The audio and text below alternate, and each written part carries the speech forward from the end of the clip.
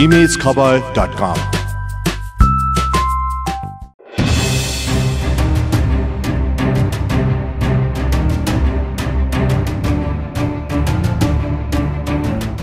पाकेर घर भित्राउन तयार भएको धान खेती बाढीले डुबाएपछि पश्चिम नवलपरासीका किसानहरू चिन्तित बनेका छन्। तीन दिनसम्म परेको अविरल वर्षाका कारण आएको बाढीले पालीनन्दन र सरावल गाउँपालिकामा लगाइएको धान खेती डुबानमा परेपछि किसानहरू चिन्तित बनेका हुन्। डुबानका कारण सरावल गाउँपालिकाको ओडा नम्बर चारदेखि सात नम्बर ओडा र पालीनन्दन गाउँपालिकाको एक र छ नम्बर ओडामा लगाइएको तीन हजार बिघाको धान बाली पूर्ण रूपमा डुबानमा परेको हो। डुबानमा परेको बाहेक त्यस क्षेत्रमा लगाइएको सयौं बिघा धान खेती पनि आधा भन्दा बढी डुबाएको छ। बचेका केही धान काँचैमा काटिन थालेको छ।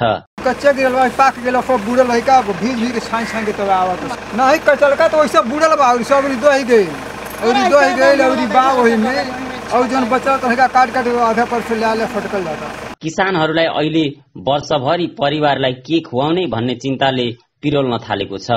खेतमा तयार भएको धान कामै नलाग्ने गरी डुबेको किसानहरू बताउँछन्। धान त छ डुबेछ माथि छ क्या? पानी।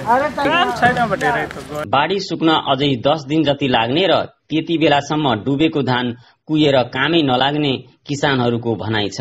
गाउँसँगै धान खेती डुबानमा परे पनि जनप्रतिनिधिहरूले राहतका लागि आश्वासन बाहेक केही नदिने गरेको स्थानीयको गुनासो छ। सरावल गाउँपालिकामा एक हजार बढी र पालीनन्दन गाउँपालिकामा दुई हजार बढी बिघामा लगाइएको धानबाली डुबेको स्थानीय तहहरूले जनाएका छन्। किसानहरूले लगाएको धानबालीलाई पूर्ण क्षति पुर्याएकाले राहतको प्याकेज ल्याउने गाउँपालिकाका प्रमुखहरूले बताएका छन्। पीड़ित किसानहरूलाई अनुदान उपलब्ध गराउन लगत संकलन कार्य अघि बढाउन लागि सरावल गाउँपालिकाका अध्यक्ष राधेश्याम चौधरीले बताउनुभयो। हिउँदे बाढी जुन हुन्छ त्यसको लागि हामीले पचास पर्सेन्ट अनुदान चाहिँ हामीले राखेका छौँ। फर्म भर्ने काम भइरहेको छ।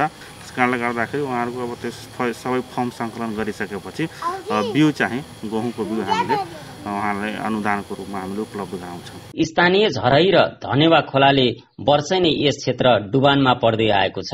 पानीको उचित निकास नभएसम्म यहाँका स्थानीयहरूले हरेक वर्ष क्षति बेहोर्नु पर्ने भएकाले सरकारले तत्कालका लागि राहत भन्दा दीर्घकालीन योजनाका कार्यक्रम ल्याउन आवश्यक छ। इमेज समाचारका लागि नवलपरासीबाट हरि शर्माको report.